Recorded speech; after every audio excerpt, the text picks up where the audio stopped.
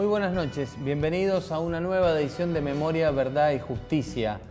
El Departamento 2 de Inteligencia de la Policía de Mendoza que funcionó en el Palacio Policial fue el centro clandestino más importante que operó antes y durante la última dictadura cívico-militar. La idea es que ese espacio del horror se transforme en un espacio para la memoria.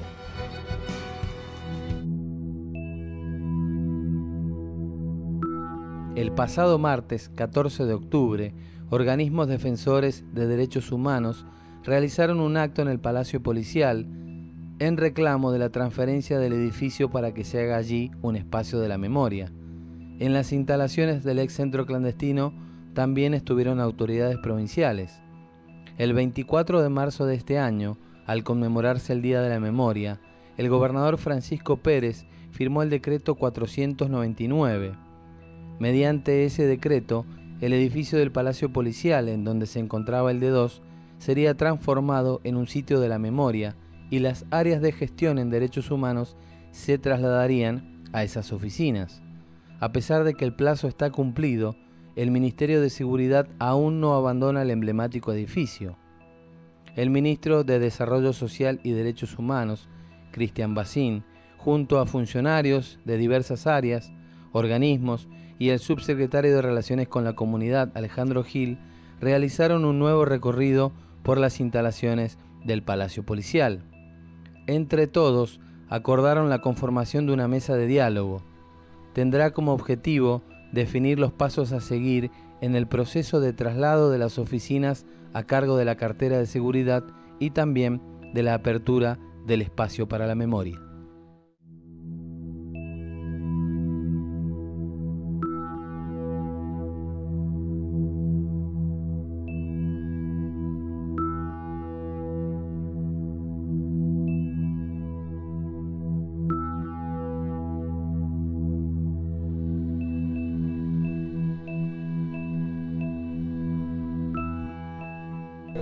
Que esto sea un proceso y una mesa de laburo conjunto con la policía, subsecretaría de justicia, subsecretaría de derechos humanos, bueno, los ministros, todo lo que en una mesa donde nos podamos sentar y empezar a armar el proceso de entrega definitivo de lo que va a ser el edificio este, que vamos a construir acá, digamos, el espacio de la memoria.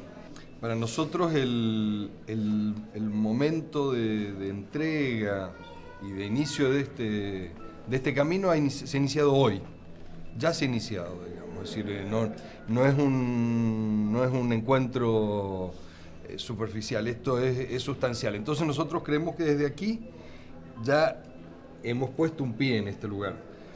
Consideramos que hay que empezar a trabajar en forma inmediata. Y e insistimos en que tenemos y queremos ver la posibilidad de compartir este espacio mientras se construye el otro decir, eso veámoslo. Eh, es una cuestión de, entendemos de más de detalles, pero es de un valor simbólico muy importante y, creo que daríamos una muestra, una vez más, de, insisto, de, este proceso de, rearmar este tejido que, está desarmado, es decir, estamos hablando de una cosa que, se, que explotó por los aires, bueno, lo estamos volviendo a construir. Va a ser un proceso, va a ser un proceso que vamos a ver cómo lo vamos a ir instrumentando, pero entre todos. Todas las patas metidas y sentadas en la mesa. Los organismos, seguridad, desarrollo social y derechos humanos, justicia. vamos a estar todos trabajándolo en conjunto en forma de proceso, como bien, como bien decís vos. Y no por la entrega del edificio, como bueno, entregamos tres oficinas y nada más. O sea, no es una mudanza, digamos. Esto tiene un valor simbólico, mucho más fuerte que la del simple traslado o no de una oficina. La meta está clarísima, la meta está clarísima. Este es el edificio de la memoria en Mendoza. El trabajo que vamos a tener que hacer juntos es arduo porque hay que recuperar mucha documentación. Entonces me parece que tenemos que ir trabajando juntos en un proceso que tiene que dar como un resultado final y no puede ser a largo plazo. No puede ser a largo plazo porque el decreto del gobernador ya está firmado, el presupuesto se demoró un poquito, pero está. Se demoró un poco, pues se demoró el presupuesto de Mendoza, no un tema que se demoró el presupuesto del edificio. Se demoró el presupuesto de Mendoza, el presupuesto para la construcción del edificio de investigaciones está el día de diciembre, que es el día es el Día de los Derechos Humanos. Lo menos que podemos hacer nosotros como responsables políticos de la Policía de Mendoza es hacer un desagravio público y pedir disculpas a la sociedad mendocina por los crímenes cometidos por algunos de los integrantes de esta fuerza. Es lo menos que podemos hacer. Lo menos que podemos hacer para esa fecha es ya estar trabajando con el Instituto de Antropología Forense para recuperar los espacios de la memoria en este edificio.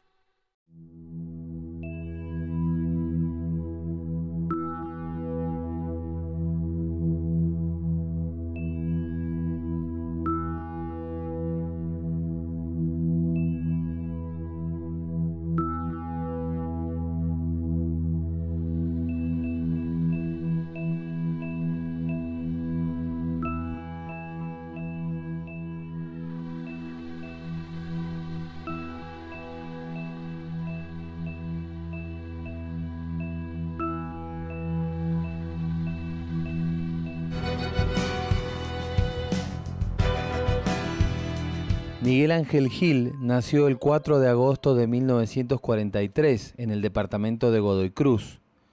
Era delegado sindical en la Comisión Nacional de Energía Atómica y también militante de la organización Montoneros.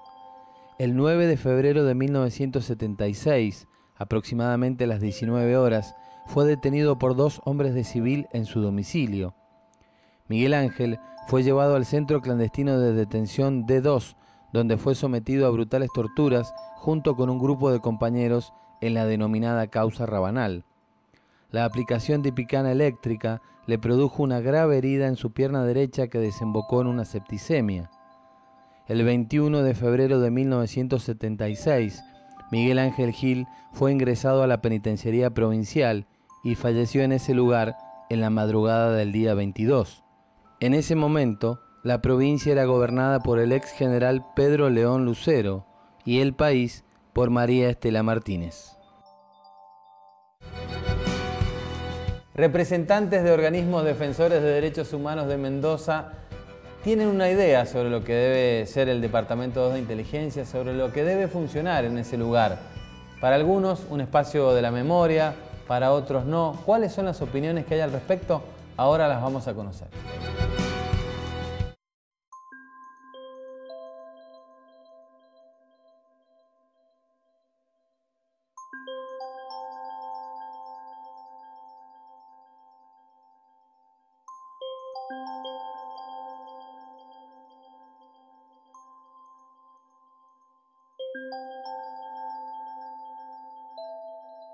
La idea que yo personalmente tengo del, eh, de, de la recuperación de sitios de memoria es siempre trabajo a futuro. El nunca más es que no, nunca más pase en la Argentina lo que pasó, que se detecten los síntomas y que todo el pueblo se involucre. En este lugar murieron muchos compañeros y murieron en tortura, o sea, murieron lentamente, sufriendo. Y están ahí, de alguna manera, decir, uno siente que están presentes entonces eh, es importante tener un lugar en donde vengan los colegios, venga la gente común y corriente, decirle, mire, acá se torturó gente con las propias manos. Y acá murió gente que todavía está desaparecida y no sabemos dónde los enterraron. Y tiene que ser un lugar en donde haya documentación suficiente que pruebe lo que nosotros decimos. Porque una vez me dijo uno de los jueces del tribunal, todo lo que yo le contaba me dijo, eso hay que probarlo. Y lo podemos probar porque tenemos la documentación. Decimos, este hombre fue seguido, este hombre fue calificado por la policía como peligroso y este hombre fue desaparecido. Esa es la importancia que tiene recuperar el lugar y convertirlo en sitio de memoria.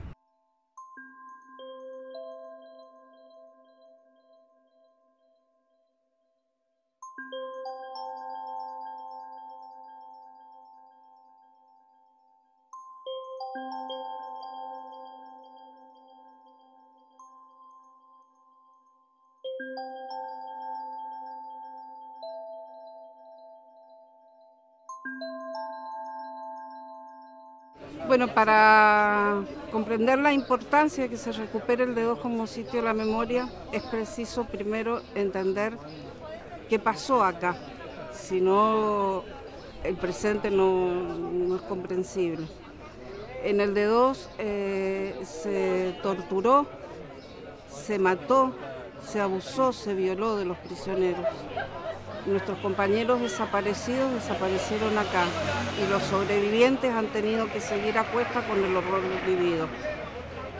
Para que esto no vuelva a pasar, para que este lugar que cayó la voz de, tantos compañeros, es que se debe recuperar, se, le tiene que volver a dar voz,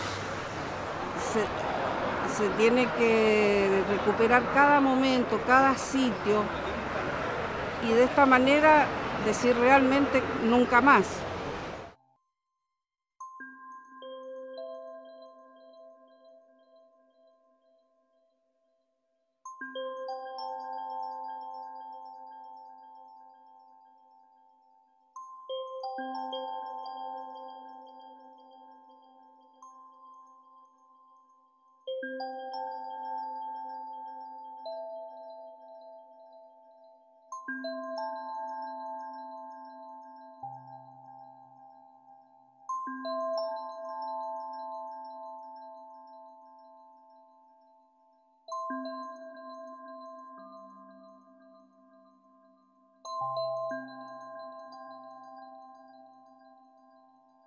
Bueno, decía que la, importancia y la trascendencia que tiene, digamos, este, la recuperación de este espacio para la memoria, porque quienes hemos vivido o hemos transcurrido este, días de detención aquí en el D2, sabemos del horror, de la desazón, de la incertidumbre y, de todo el terror que, que se vivía aquí adentro pienso que es importante para, las nuevas generaciones saber este, este, todo lo que ha ocurrido, digamos, en este lugar.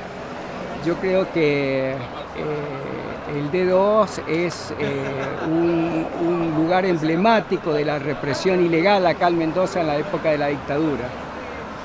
Así que este, me parece que que el gobierno provincial tiene que hacer los esfuerzos para que este espacio quede para, para, la, para la memoria de todos los mendocinos, de todos los argentinos.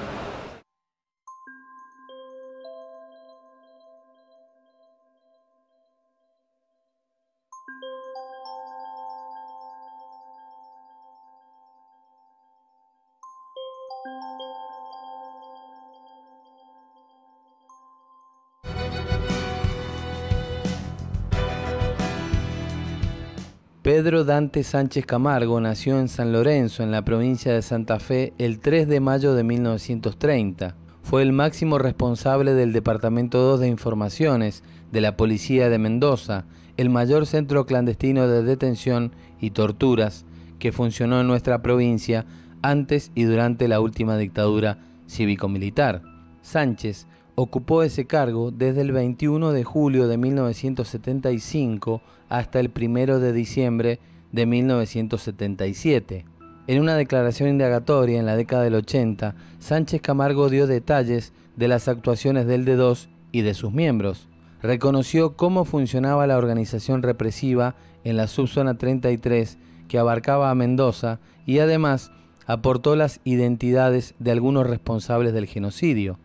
También declaró sobre su propia actuación en diferentes operativos. El represor Pedro Dante Sánchez Camargo falleció en la impunidad por la vigencia de las leyes de obediencia de vida y punto final. Desde el Gobierno Nacional y la provincia de Mendoza se están identificando los distintos lugares que fueron utilizados como centros clandestinos aquí en nuestro territorio. Para hablar sobre eso y también sobre lo que va a ocurrir con el D2 está con nosotros Natalia Brite, que es directora de promoción de derechos humanos de la provincia de Mendoza. Natalia, buenas noches. Buenas noches. ¿Cómo estás? Muy bien, bien.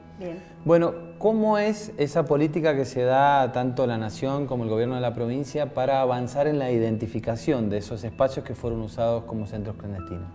En principio tiene que ver con la aplicación de una ley nacional, que es la 26691, que tiene que ver con la identificación de sitios de memoria que es la señalización ni más ni menos de los más de 600 eh, centros clandestinos de detención que han funcionado en todo el país y también algunos lugares relacionados, por ejemplo, con masacres, que eh, se hallan Treleu, Margarita Belén, inclusive algunos que son de comienzo del siglo pasado, eh, como los de Santa Cruz, y también todos aquellos lugares que tengan oceanito eh, en materia y en referencia al terrorismo de Estado. No es solo los SD de 7683, sino eh, con esta perspectiva histórica amplia y es, se hace con la Secretaría de Derechos Humanos de la Nación, efectivamente, y siempre con gestión local, tanto de las provincias como de los municipios cuando involucran alguna, algún lugar en algún municipio en particular, o reparticiones que, por ejemplo, no tengan que ver con los ejecutivos municipal, nacional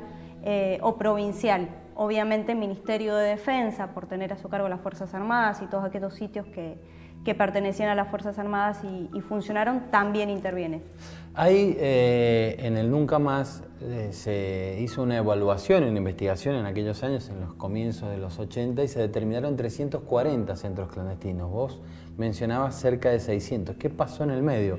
Y en el medio se investigó, eh, se investigó a partir de organismos de derechos humanos, a partir de organizaciones civiles, más allá de que en su momento y con las leyes y los momentos de impunidad la justicia no lo hizo y se fueron descubriendo obviamente más lugares. Y cuando se reabren los juicios, después de la nulidad de las leyes, después de, que se cayera todo ese manto de impunidad, también a partir de las declaraciones, de los testimonios que se van sumando en cada uno de los procesos orales y públicos, también se descubren más espacios que funcionaron con roles muy diferenciados. Hay que decir que no todos cumplían el circuito completo, en todo caso, de la represión, eh, sino que tenían sus espacios y sus modos de funcionar diferenciados eh, en cada una de las etapas de, este circuito. ¿Por qué es necesario identificarlos y por qué eh, el gobierno lo hace? ¿Con qué fin?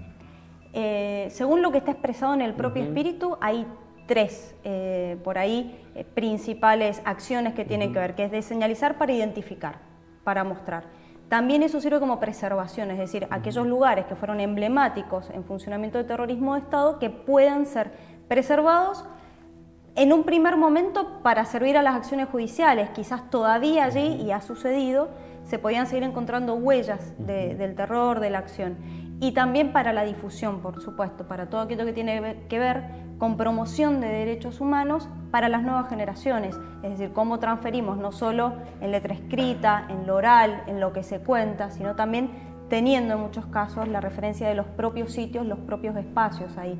También de ahí la, diferenciación, una vez que se señaliza un lugar, pasa a ser un sitio de memoria cuando se reconvierte y cuando se refuncionaliza, algunos de esos sitios, no todos por supuesto, pasan a ser un espacio de memoria y promoción de derechos humanos. Ahí es cuando ya eh, se amplía el proceso no solo a señalizarlo, sino a utilizar y desde ese lugar promover eh, memoria y promover eh, la reconstrucción de la propia historia de ese lugar y cómo funcionaba en relación con el resto del circuito.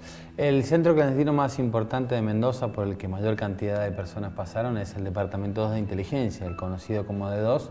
El gobernador a principios de año firmó un decreto donde se lo consideraba un espacio para la memoria y se transfería ese lugar de, de ministerio. ¿Cómo está esa tarea y cuál es la idea de que cómo se ha ocupado ese lugar?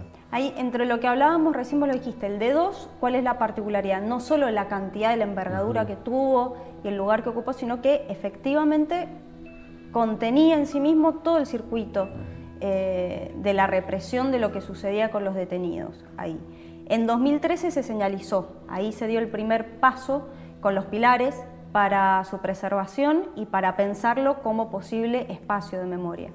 Vos lo decías, este 24 de marzo el gobernador eh, anunció el decreto 499, refrendado también por los ministerios de Desarrollo Social y Derechos Humanos, también por el Ministerio de Seguridad y el, Ministerio de Trabajo, Justicia y Gobierno, porque esta refuncionalización o este espacio de dos, en realidad hay que verlo como un edificio muy grande que tiene que ver con el palacio policial, eh, que es una estructura muy grande. Entonces, esta sesión que se anuncia y que, queda dictaminada en el decreto tiene que ver, por un lado, con aquellos espacios particulares que funcionaron como de dos y como centro clandestino para ser refuncionalizados como espacio de memoria.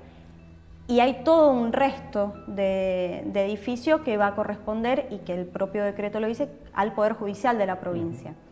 Eh, esto está, está vigente, está vigente el decreto y lo que resta es acomodar las estructuras del Ministerio de Seguridad, por un lado, para que pueda trasladar lo que, el funcionamiento que todavía mantiene allí y por otro lado también un, reacomodamiento del propio Poder Judicial porque allí se, cruzan de alguna manera algunas funciones de seguridad y, el Poder Judicial que interactúan en las primeras instancias eh, tras algún caso judicial. Por último, Natalia, ¿por qué es importante recordar? Estás en la Dirección de Promoción de Derechos Humanos, ¿por qué tenemos que recordar los mendocinos? ¿Por qué tenemos que hacer memoria a los mendocinos? Yo creo que porque todavía pasamos por lugares donde hay nuevas generaciones, es decir, aquellos posterior al 83, como es uno mismo, y de antes también que no, no, comprenden o no tienen certezas de la envergadura de lo que sucedió. Y esto no es casual, no es un desconocimiento buscado por la propia sociedad, sino que durante más de 30 años esto no sucedió. Esto no se dio a conocer, estuvo oculto. Eh, y siempre se habla de aquella frase que surge del informe CONADEP, CONADEP que es el nunca más. Es decir, efectivamente hay un proceso de terrorismo de Estado, de dictaduras, de supresión de libertades y de violaciones sistemáticas a los derechos humanos que no tiene que volver a suceder. Y eso tiene que quedar como primera premisa arraigada, pero también tiene que ver, y en esta última década, sobre todo como se ha concebido la memoria, la verdad y la justicia como paradigma de derechos humanos, que hay un piso también de la democracia, de una democracia que crece, que avanza, que madura, si no es simplemente formal e institucional, y de ahí el nunca, nunca menos también de alguna manera. Asegurar la memoria y el conocimiento de lo que sucedió en aquellos años también es asegurar que de allí hacia adelante, que, que no hay que volver no solo a no repetir, sino que también hay cosas que quizás sí sucedieron, como la solidaridad, los lazos, la participación política en aquella generación, que eso sí hay que recuperarlo. Eh, entonces me parece fundamental por eso, como que ya podemos darnos otros debates, podemos darnos la posibilidad de pensar otros temas con mayor profundidad porque este primer espacio o este primer momento de justicia se está cumpliendo en nuestro país. Y costó muchísimo y fueron los organismos de derechos humanos en un principio quienes desde, desde las calles, desde su propia organización tuvieron que, que lucharlo para que efectivamente hubiese voluntad política que reconociera que allí estaba la reconversión de un país. Desde esa política de derechos humanos eh, se puede después plasmar y analizar todo un proyecto que, que, lo sustenta y que se sustenta desde ahí. No por nada las primeras acciones fuertes de gobierno tuvieron que ver con la justicia y con los derechos humanos. Gracias, Natalia. Gracias a ustedes. Natalia Brite es la directora de promoción de los derechos humanos de la provincia de Mendoza. El D2, la idea es que sea un espacio para la memoria y que en ese lugar que fue el centro clandestino más terrible que hubo en la provincia de Mendoza, donde ocurrieron los horrores más inimaginables que la conciencia humana pueda concebir, se preserve y se utilice justamente para que las nuevas generaciones sepan lo que allí ocurrió. Como siempre decimos, memoria, verdad y justicia. Nos reencontramos la semana que viene. Muchas gracias. Este poema es para ustedes, compañeros, los que empuñaron la bandera, los que gritaron su esperanza, los que avanzaron y cayeron. Este poema los recuerda a todos, a todos los que sumaron, a todos los que dejaron una huella, una obligación. En cada letra de este poema quiero que estén presentes todos, para que quien lo lea vea el rostro sufriente y heroico de nuestra hermosa revolución, y desde allí, desde sus tumbas, siguen construyendo porque su ejemplo da ganas, su sacrificio abre ojos, su coraje arma brazos, y sus errores evitan otros. A todos, a todos, este poema los recuerda, compañeros. Este es un fragmento de un poema de Joaquín Areta, editado de los escritos que, que de él hay, compañero detenido desaparecido, y a quien en su momento Néstor Carlos Kirchner como presidente le puso voz leyendo eh, Quisiera que me recuerden, y quería traerlo a Joaquín mismo en esto a colación y, a, ese también, ese puntal que fue darle voz y dar espacio para que podamos reconstruir, que es la meta que tenemos.